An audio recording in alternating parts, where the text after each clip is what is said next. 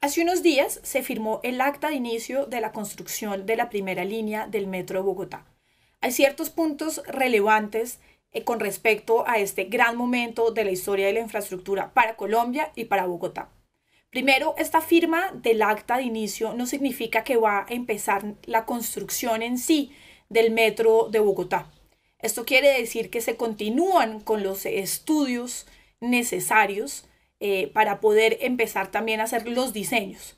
Este tiempo toma alrededor de 27 meses. Hasta dentro de ese tiempo vamos a empezar a ver la construcción de la primera línea del Metro Bogotá. Esta primera línea del metro ha sido muy cuestionada, ya que se han hecho varios hallazgos que implican ciertas irregularidades. Por ejemplo, la falta de estudios de suelos y de geotecnia en el momento de adjudicar la licitación.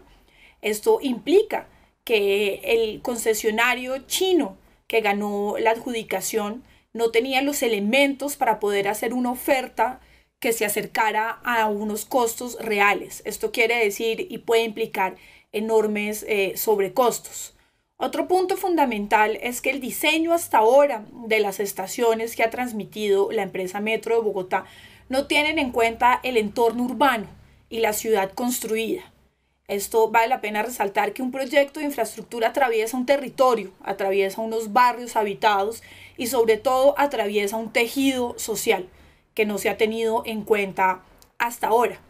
Otro de los puntos fundamentales es el traslado de redes. Se ha empezado un traslado de redes anticipado sin tener en cuenta y sin tener aún los diseños. Esto puede implicar algunos cambios en el momento en el que los diseños estén listos y los sobrecostos pueden llegar hasta el 10%.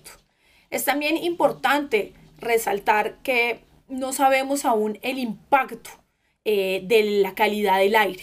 Bogotá va a ser un experimento en cuanto a que encima de un sistema de buses que no funcionan sino con diésel y a gas, es decir, no son buses eléctricos, sino son buses contaminantes, va a haber por encima un viaducto con el metro elevado, lo que puede ocasionar un túnel de contaminación y afectar la calidad del aire, principalmente de los habitantes de las localidades de Teusaquillo y de Chapinero, lo que es un punto muy alarmante. Finalmente, es muy importante resaltar que esta primera línea del metro implica el traslado de la subestación eléctrica de la calle Primera con Caracas eh, para que pueda pasar por ahí la primera línea del metro.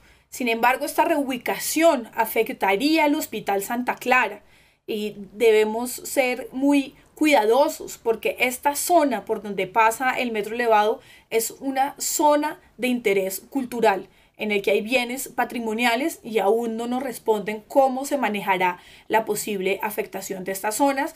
Así que tenemos que seguir alertas frente a esta primera línea del metro y seguir detallando estas irregularidades para que se pueda corregir el paso lo más pronto posible.